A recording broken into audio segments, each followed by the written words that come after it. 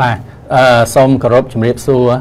សម្ដេចឯកឧត្តមលោកជំទាវលោកអញ្ញាលោកលោកស្រីនិងទស្សនិកជនទាំងអស់ដែលបានកំពុងទស្សនា កម្មវិធីរៀនអំពីពន្ធដារតាមអនឡាញ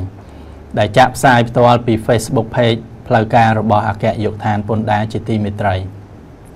ខ្ញុំបាទឆាយជាហេងជាអនុប្រធានយុគឋាននៃយុគឋានគ្រប់គ្រងអ្នកជាប់ពន្ធធំនៃអគ្គនាយកដ្ឋានពន្ធដារជាថ្មីម្ដងទៀតដោយមានការអនុញ្ញាត ដ៏ខ្ពង់ខ្ពស់ពីឯកឧត្តមគង់វិបុលប្រតិភូរាជរដ្ឋាភិបាលទទួលបន្ទុកជាអគ្គនាយកនៃអគ្គនាយកដ្ឋានពន្ធដារខ្ញុំសូមបន្តលើកប្រធានបទស្ដីពីអកលលើតម្លៃបន្ថែម ដើម្បីចែករំលែកជាចំណេះដឹងនាថ្ងៃនេះ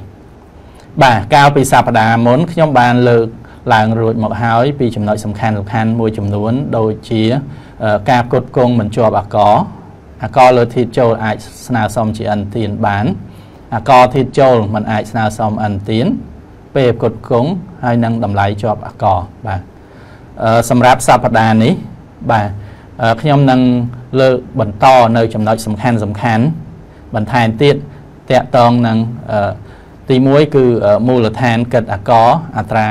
ពន្ធហើយនឹងការកណនីប្រាក់ពន្ធបាទហើយចំណុចទី2គឺការបង្វិលសងប្រាក់អក ទី3គឺនីតិវិធីនៃការចេញវិក័យប័ត្រអកបាទទី4គឺការដាក់លិខិតប្រកាសនិងបង់ប្រាក់ពន្ធហើយទី5ខ្ញុំនឹងលើកឧទាហរណ៍បញ្ជាក់មួយចំនួនបាទអញ្ចឹងខ្ញុំសូមអនុញ្ញាតចូលទៅចំណុចទី1បាទអញ្ចឹងកាលពីសប្តាហ៍មុនយើងបានឃើញហើយថាមូលដ្ឋានកិត្តពន្ធហ្នឹងគឺតម្លៃជាប់អកដែល ត្រូវយកប៉ុណ្ណាយកមកកិត្តបាទអញ្ចឹងតកតងនឹងអត្រាពន្ធនៅកម្ពុជាយើងមានតែពីអត្រាទេគឺ10%សម្រាប់ការផ្គត់ផ្គង់ជាប់អកនៅក្នុងស្រុកហើយនឹងការនាំចូលបាទអញ្ចឹងការផ្គត់ផ្គង់ក្នុងស្រុកហើយនឹងការនាំចូលជាប់អត្រាអកយើង10%បាទដោយឡែកចំពោះការនាំចេញគឺអត្រាយើង0%បាទ0%សម្រាប់ការនាំទំនិញឬសេវាដែលបានប្រើប្រាស់នៅក្រៅការ ព្រះរាជាណាចក្រកម្ពុជាយើងឬមួយជាការដឹកជញ្ជូនអន្តរជាតិបាទអាហ្នឹងអត្រា0%អញ្ចឹងសរុបមកវិញយើងមានតែពីអត្រានេះទេបាទគុតគងក្នុងស្រុកនាំចូល គឺប្រជាជនយើងអ្នកប្រើប្រាស់អញ្ចឹងយើងយកប្រាក់ក10%ដល់នាំចេញ0%អឺតកតងនឹងការកណនីប្រាក់ពន្ធអញ្ចឹងអឺ ក្នុងការកណនីប្រាក់ពន្ធគឺយើងយកអកលើធាតចេញដល់អកលើធាតចូលអញ្ចឹងបើសិនកណនីទៅវាសញ្ញាវិជ្ជមាន យើងហៅថាអកត្រូវបង់អញ្ចឹងបានន័យថាម៉េចសញ្ញាបូកគឺអកលើធាតចេញធំជាងអកលើធាតចូលអញ្ចឹងលំអៀងហ្នឹងយើងបង់ជូនរដ្ឋមកបាទអាហ្នឹងយើងហៅអកត្រូវបង់ផ្ទុយមកវិញបើយើងយកធាតចេញដកធាតចូលទៅចេញសញ្ញាអវិជ្ជមានអញ្ចឹងអាហ្នឹងគឺយើងហៅថាអនទានអក អនទានអកគឺក្នុងករណីអកលើធាតចេញតូចជាងអកលើធាតចូលអញ្ចឹងអនទានអកនេះយើងនឹងយកទៅបូកជាមួយអកលើធាតចូលនៅខែបន្ទាប់ដើម្បីកាត់កងជាមួយអកលើធាតចេញបាទអញ្ចឹងអន្ទានអកនេះគឺរត់ជាពាក់បាទអត់មានបងទេមានន័យចឹងអឺខ្ញុំសូមអនុញ្ញាតចូលចំណុចទី2តកតងនឹងការបង្វិលសងអឺប្រាក់អកបាទអញ្ចឹងអឺក្នុងករណីដែលអឺសាគ្រាសបងពុនលើសបានន័យថាអកធាតចូលធំជាងអកលើធាតចេញអញ្ចឹងគឺយើងរត់នឹងបវលប្រាក់អកនេះជូនសហគ្រាសវិញបាទអញ្ចឹងទី1គឺយើងបវលជូនសហគ្រាសប្រភេទណាខ្លះបាទអញ្ចឹងបុគ្គលជាអកដែលបានប្រកាសនាំចេញ លើលិខិតប្រកាសអាចស្នើសុំអកលើធាតចូលបានបាទអញ្ចឹង ពាក្យថាប្រវល់សងប្រាក់អកហ្នឹងគឺបានឯសុំលុយពីរដ្ឋទៅវិញហ្នឹងគឺមានន័យសាមញ្ញគឺរបៀបហ្នឹងបាទអញ្ចឹងអ្នកនាំចេញយើងដឹងហើយការនាំចេញ0%បាទអញ្ចឹងវត្តគាត់0វត្តអកលើធាតចេញប៉ុន្តែដល់ពេលគាត់ទិញក្នុងស្រុក supplier គាត់ឆាច VAT អញ្ចឹងគាត់មានតែអកលើធាតចូលបាទអញ្ចឹងគឺយើងអនុញ្ញាតប្រវល់ប្រាក់នេះជូនទៅអ្នកជាប់ពន្ធវិញទី2គឺសហគ្រាសវិនិយោគ បាទដែលបានប្រកាសអកលើធាតចូលលើលិខិតប្រកាសបាទអាចស្នើសុំប្រវល់សងបានដែរអអញ្ចឹងសហគ្រាសវិនិយោគអឺអឺគឺស្ថិតនៅក្នុងរយៈពេលសាងសង់ជាពិសេសក្នុងរយៈពេលសាងសង់ហ្នឹងគឺគាត់មានតែសាងសង់អញ្ចឹងគាត់អត់ទាន់មានចំណូលអញ្ចឹងអឺរាល់ការទទួលការផ្គត់ផ្គង់ក្នុងស្រុកហ្នឹងគឺសល់អាករលើធាតុចូលបាទអញ្ចឹងគឺអាចស្នើសុំ ប្រវល់សងបានដែរទី3គឺបុគ្គលជាប់អាករបានចុះបញ្ជី មានអាករលើធាតុចូលលើសចាប់ពី3ខែជាប់គ្នាឡើងទៅ បាទន័យថាខែទី1យើងមានអន្ទានកខែទី2មានអន្ទានកហើយខែទី3យើងមានអន្ទានកទៀតអញ្ចឹងនៅចុងខែទី3ហ្នឹងមានសិទ្ធអាចស្នើសុំបវលអកលើធាតចូលដែលលើសនៅ ដំណាច់ខែទី3នេះបានបាទបាទអញ្ចឹងអឺ ខ្ញុំសូមអនុញ្ញាតចូលទៅចំណុចទី3គឺនីតិវិធីនៃការចេញវិក័យប័ត្របាទអញ្ចឹងយើងដឹងហើយថាផោះតាងនៃបញ្ជាក់ថាយើងបានបងអតបនេះ គឺបើនាំចូលគឺយើងមានប្រតិវេតកយហើយបើសិនជាយើងតែងក្នុងស្រុកគឺវិក័យប័ត្របាទអញ្ចឹងតកតងនឹងវិក័យប័ត្រគឺ រដ្ឋបាលសាប្រពន្ធកំណត់ថាមានពីរប្រភេទគឺវិក័យប័ត្រអកហើយនិងវិក័យប័ត្រធម្មតាបាទអញ្ចឹងអឺវិក័យប័ត្រអកយើងចេញនៅពេលណាហើយវិក័យប័ត្រធម្មតាចេញនៅពេលណាបាទអញ្ចឹងអឺនៅក្នុងវិធានវិក័យប័ត្រនេះគឺយើងបានអឺកំណត់ពីរប្រភេទទី1គឺសម្រាប់អ្នកជាប់ពន្ធមធ្យមហើយនិងអ្នកជាប់ពន្ធធំបាទអញ្ចឹងអ្នកជាប់ពន្ធមធ្យមហើយអ្នកជាប់ពន្ធធំគឺ ចេញវិក័យប័ត្រមានពីរប្រភេទទី1គឺវិក័យប័ត្រអកហើយមួយទៀតគឺវិក័យប័ត្រធម្មតាដោយឡែកអ្នកជាប់ពន្ធតូចគឺមានតែមួយប្រភេទកូដគឺវិក័យប័ត្រធម្មតាបាទអញ្ចឹងយើងមិនអនុញ្ញាតឲ្យអ្នកជាប់ពន្ធតូចចេញវិក័យប័ត្រអកទេបាទចឹងតកតងនឹងសំណួរសួរថាតើវិក័យប័ត្រអកហ្នឹងពេលណាយើងត្រូវចេញទៅឲ្យគេបាទអញ្ចឹងគឺក្នុងករណីអតិជនយើងហ្នឹងជាអ្នកជាប់ពន្ធតាមរបបស្វ័យប្រកាស អ្នកជាប់ពន្ធធំហើយអ្នកជាប់ពន្ធមធ្យមហ្នឹងត្រូវតែចេញវិក័យប័ត្រអកទៅឲ្យអតិជនផោះខ្លួនបាទចឹងត្រូវតែចេញបានន័យថាបើអតិជនខ្លួនជាអ្នកជាប់ពន្ធតាមរបបស្វ័យប្រកាសត្រូវតែចេញវិក័យប័ត្រអកមិនមែនមានន័យថាចេញក៏បានមិនចេញក៏បានទេតែកាលណាយើងអត់ចេញវិក័យប័ត្រកទៅឲ្យអ្នកជាប់អតិជនយើងដែលជាអ្នកជាប់ពន្ធតាមរបបស្វ័យប្រកាសបានន័យថាយើងបំពេញមិនបានត្រឹមត្រូវអញ្ចឹងត្រូវរងទោសទណ្ឌបាទដោយឡែក ត្រូវចេញវិក័យប័ត្រធម្មតាទៅឲ្យអតិជនដែលជាអ្នកប្រើប្រាស់ចុងក្រោយអញ្ចឹងជាទូទៅអ្នកប្រើប្រាស់ចុងក្រោយគឺมันស្ថិតនៅក្នុងរបបស្វ័យប្រកាសនឹងឯងគឺយើងចេញវិក័យប័ត្រធម្មតាបាទអញ្ចឹងអឺគឺសូមកត់សម្គាល់បាទមានចំណុចពីរហ្នឹងបានន័យថាអ្នកជាប់ពន្ធមធ្យមហើយធំគឺចេញវិក័យប័ត្រអកដល់អតិជនជាអ្នកជាប់ពន្ធតាមរបបស្វ័យប្រកាស ហើយចេញវិក័យប័ត្រធម្មតាដល់អតិជនដែលជាអ្នកប្រើប្រាស់ចុងក្រោយបាទហើយដល់អ្នកជាប់ពន្ធតូចគឺត្រូវតែចេញវិក័យប័ត្រធម្មតាបានហើយបាទចឹងខ្ញុំសូមទាញចំណាប់អារម្មណ៍តិចដែរដោយសារយើងតម្រូវឲ្យអ្នកជាប់ពន្ធតូចចេញវិក័យប័ត្រធម្មតាអញ្ចឹងពេលដែលអ្នកជាប់ពន្ធមធ្យមហើយអ្នកជាប់ពន្ធធំ ទទួលការផ្គត់ផ្គង់ពីអ្នកជាប់ពន្ធតូចហើយទទួលបានវិក័យប័ត្រធម្មតា គឺមិនត្រូវកាត់កាត់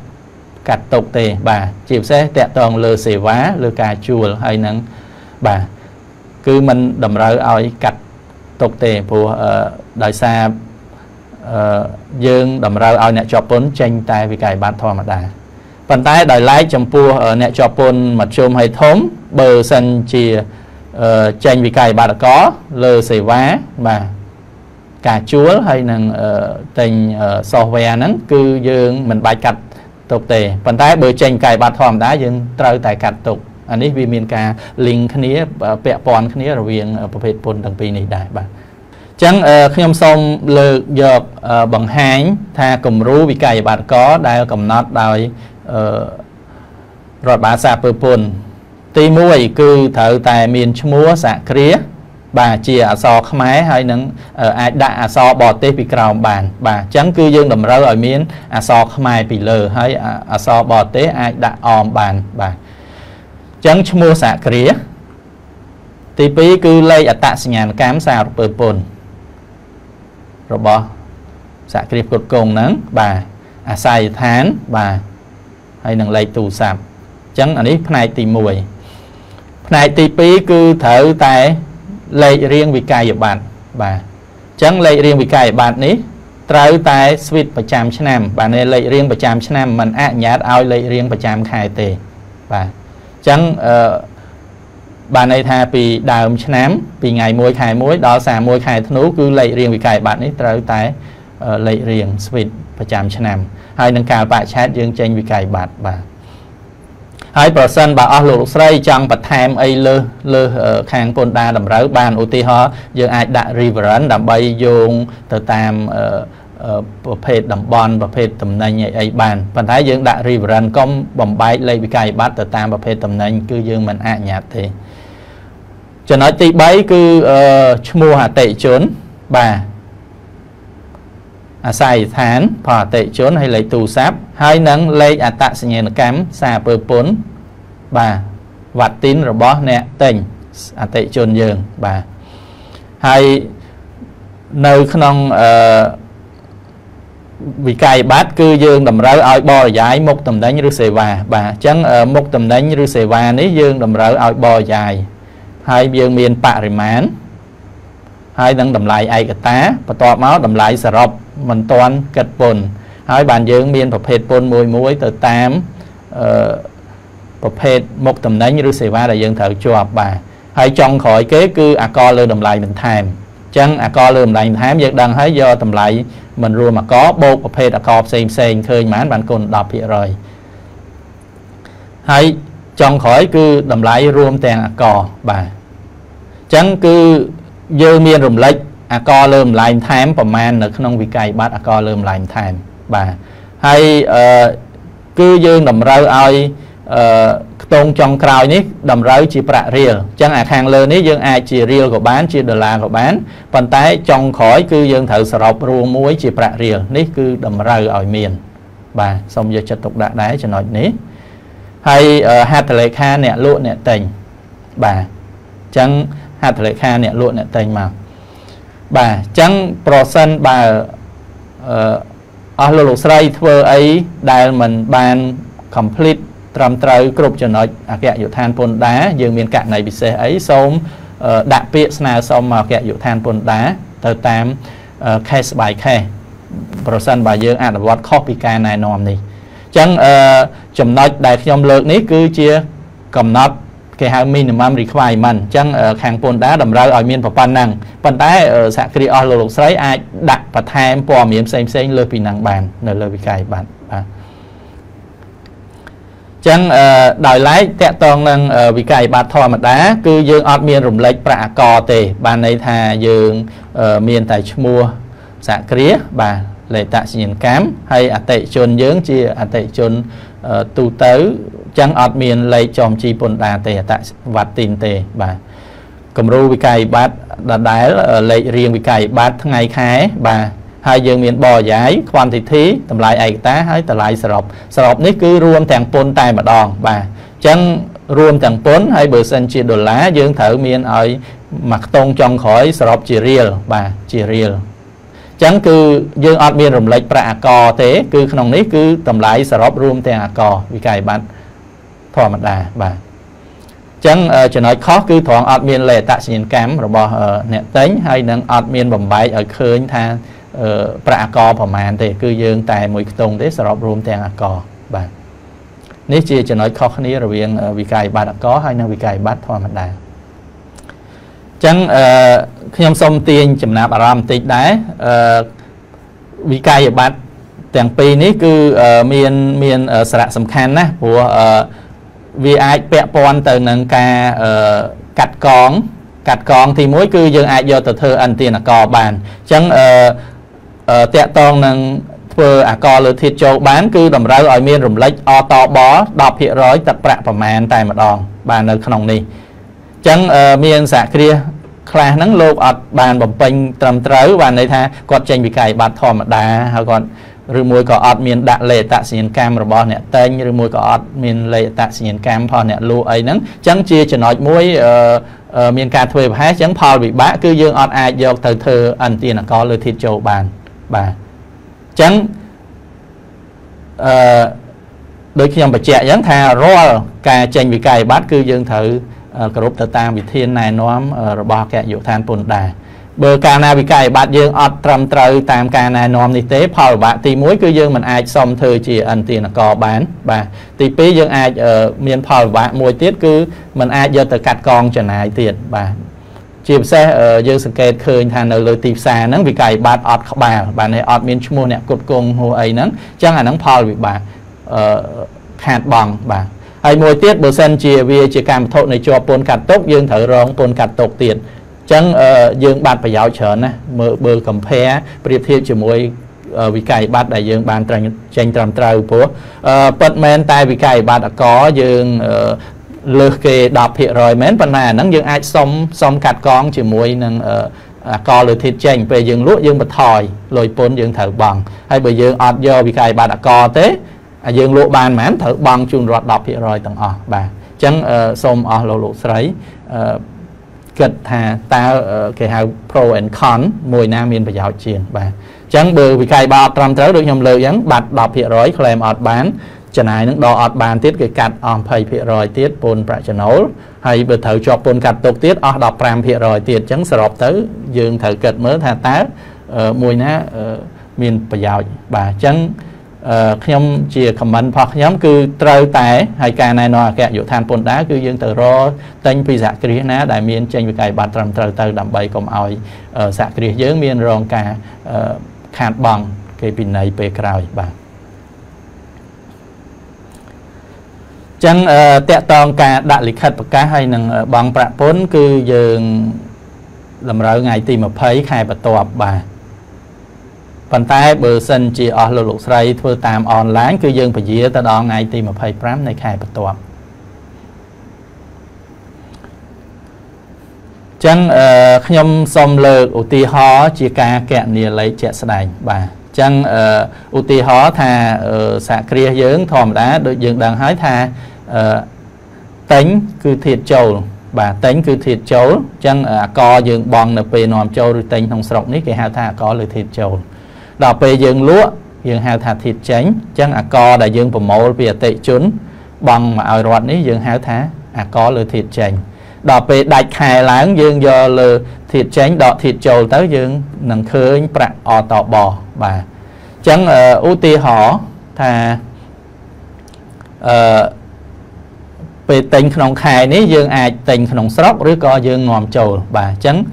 សន្មតថាសហគ្រាសមួយនេះគាត់នាំចូល នាំចូលមកតម្លៃជាប់អាកគឺ1000បាទអញ្ចឹងគុណ10%ទៅបង់ទៅឲ្យអាជ្ញាធរកយហ្នឹងគឺ100បាទ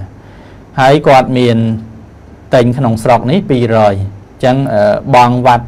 តែងក្នុងស្រុកទៅឲ្យអ្នកគុតគងហ្នឹងគុណ10%ទៅគឺ20អញ្ចឹងយើងអាកធាតចូលមាន100ហើយនឹង20អញ្ចឹងសរុបទៅយើងឃើញ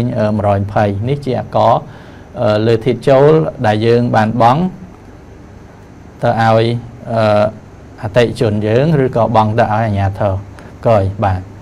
ដោយឡែកនៅក្នុងខែនៅក្នុងខែអញ្ចឹងយើងធ្វើការផ្គត់ផ្គង់ជាប់អកអញ្ចឹងតម្លៃជាប់អកយើងគឺ1500អញ្ចឹង1005យើងគុណនឹង10%ទៅឃើញថាអកលើធាតចេញយើងត្រូវបង់ហ្នឹងគឺ150បាទដែលត្រូវប្រមូលពីអតិជនហើយយកបង់ជូនរដ្ឋអញ្ចឹងដល់ពេលដាច់ខែឡើងយើងយកធាតចេញអកធាតចេញដកមួយអកលើធាតចូលបាទអញ្ចឹងករណីយើងនេះអកលើធាតចេញធំជាអកលើធាតចូលអញ្ចឹងយើងលំអៀងបាននៃសញ្ញាបូក30អញ្ចឹងដាច់ខែឡើងយើងបង់30នេះមកឲ្យខាងពន្ធមកប៉ុន្តែផ្ទុយមកវិញបើសិនជាឧបមាថាបើសិនជាអកធាតចេញយើងតែ100ខាងលើនេះ ចឹងបើយើងដកទៅនឹងចេញអវិជ្ជមាន20ពេលហ្នឹងយើងកន្លែងនេះយើងទៅជាអន្ទានកលឬធាតចូលទុកយោងទៅខែក្រោយវិញបាទចឹងអឺដូចខ្ញុំបញ្ជាក់ចឹងថាអឺសំខាន់ណាតកតងនឹងអឺថានេះអាកលើធាតចូលនេះយើងអាចសុំជាអន្ទានបានហ្នឹងគឺយើងត្រូវតែមានផោះតាង ថាយើងបានទូទាត់ហើយបើយើងនាំចូល នេះគឺយើងត្រូវមានប្រតិវេតកយហើយនៅលើប្រតិវេតកយហ្នឹងគឺខាងអាជ្ញាធរកយមានបោះនៅលើប្រតិវេតកយហ្នឹងថាអាចប្រើប្រាស់ជាអន្តទានបាន បាទចំណុចនេះសូមយកចិត្តទុកដាក់ដែរតលតែមានបោះត្រានៅលើប្រតិវេតកយថាអាចស្នើសុំជាអន្តទានបានទៅយើងអនុញ្ញាតមួយទៀតចំពោះការទិញក្នុងស្រុកនេះ ការទិញក្នុងស្រុកនេះដើម្បីអនុញ្ញាតបាន ទី1គឺយើងទិញហ្នឹង គឺតលតែដើម្បីធ្វើការផ្គត់ផ្គង់ជាប់អាកអញ្ចឹងបើសិនជាការទិញទាំងឡាយណា ដែលធ្វើការផ្គត់ផ្គង់មិនជាប់អាកគឺយើងមិនអនុញ្ញាតទេអញ្ចឹងតលតែដើម្បីផ្គត់ផ្គង់ជាប់អាកហើយទី2គឺត្រូវតែវិក័យប័ត្រអាកហើយដែលមាននិទេសត្រឹមត្រូវដោយខ្ញុំបានបង្ហាញមកអញ្ចឹងបាទអញ្ចឹង និទេសត្រឹមត្រូវហ្នឹងគឺមានលេខតសញ្ញាកម្មអ្នកលក់អ្នកតែងហើយនឹងមានរំលេចប្រាក់អាក10%នៅក្នុងហ្នឹងបាទហើយនឹងយើងត្រូវមានផុសតាងច្បាស់លាស់ថាពិតជាបានបង់ទៅឲ្យ supplier យើងអាហ្នឹងនៅពេលដែលខាងពន្ធដារគេទៅ check បញ្ជីទៅគេនឹងទៅផ្ទៀងផ្ទាត់មើលថាតើមានបានបង់ពិតប្រកបអត់អញ្ចឹងបើសិនជាយើងមានផុសតាងរឹងមាំរបៀបហ្នឹងគឺយើងយកមកដកទៅបាទ ជាមួយអកលើធាតុចេញប៉ុន្តែដូចខ្ញុំបញ្ជាក់មិញដែរប្រសិនបើវិក័យប័ត្រអកយើងមិនគ្រប់និទេសណាឧទាហរណ៍អត់មានរំលេចអកលើម្លែងថែម10%ឬមួយក៏អត់មានលេខអត្តសញ្ញាណកម្មផុសអ្នកផ្គត់ផ្គង់ឬមួយក៏លេខអត្តសញ្ញាណកម្មរបស់អ្នកតែងអីហ្នឹងអញ្ចឹងអាហ្នឹងគឺអត់គ្រប់និទេសរបៀបហ្នឹងគឺយើងមិនអនុញ្ញាតទេអញ្ចឹងចំណុចនេះសូមយកចិត្តទុកដាក់បាទដែលជាកំហុសមួយគេហៅយើងមាន error បាទ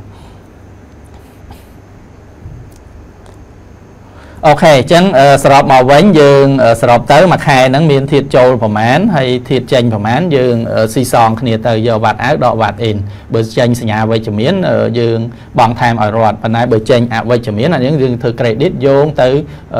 ខែបន្ទាប់ទៀតទៅហើយទៅខែបន្ទាប់វានឹងបូកជាមួយអាករលើធាតចូលដើម្បីដកជាមួយអាករលើធាតចេញនៅខែបន្ទាប់ទៀតបាទអញ្ចឹងអឺ ដោយសារពេលវេលាមានកំណត់បាទខ្ញុំសូមបញ្ចប់ផ្នែកទី3នៃអកលលើតម្លៃបន្ថែមត្រឹមប៉ុណ្ណេះសិនបាទហើយនឹងយើងនឹងបន្តប្រធានបទនេះនៅលើក្រោយទៀតបាទអញ្ចឹងខ្ញុំសូមថ្លែងអំណរគុណចំពោះការចំណាយពេលវេលាដ៏មានតម្លៃរបស់សម្ដេចឯកឧត្តមលោកជំទាវលោកអញ្ញាលោកលោកស្រី នាងកញ្ញានិងទស្សនិកជនទាំងអស់ដែលបានតាមដានទស្សនា រៀនអំពីពន្ធដារតាមអនឡាញបាទដែលផ្សាយផ្ទាល់ពី Facebook Page ផ្លូវការរបស់អគ្គនាយកដ្ឋានពន្ធដារតាំងពីដើមរហូតដល់ចប់បាទអឺខ្ញុំសង្ឃឹមថាកម្មវិធីនេះនឹងជួយផ្ដល់នៅចំណេះដឹងបន្ថែមទៀតដើម្បីជួយលោកអ្នកក្នុងការបំពេញកាតព្វកិច្ចសារពើពន្ធឲ្យបានត្រឹមត្រូវបាទការរួមចំណែករបស់លោកអ្នកក្នុងការបំពេញកាតព្វកិច្ចសារពើពន្ធឲ្យបានត្រឹមត្រូវ គឺជាការរួមចំណែកក្នុងការអភិវឌ្ឍប្រទេសជាតិយើងបាទជាចុងក្រោយខ្ញុំសូមគោរពជូនពរសម្ដេចអាដាមលោកជំទាវលោកអញ្ញាលោកលោកស្រីនាងកញ្ញានិងទស្សនិកជនទាំងអស់នៅពុទ្ធពរទាំង4ប្រការគឺអាយុវណ្ណៈសុខៈពលៈកំបីគ្លៀងលាតឡើយបាទអញ្ចឹងសូមអរគុណសូមជម្រាបលា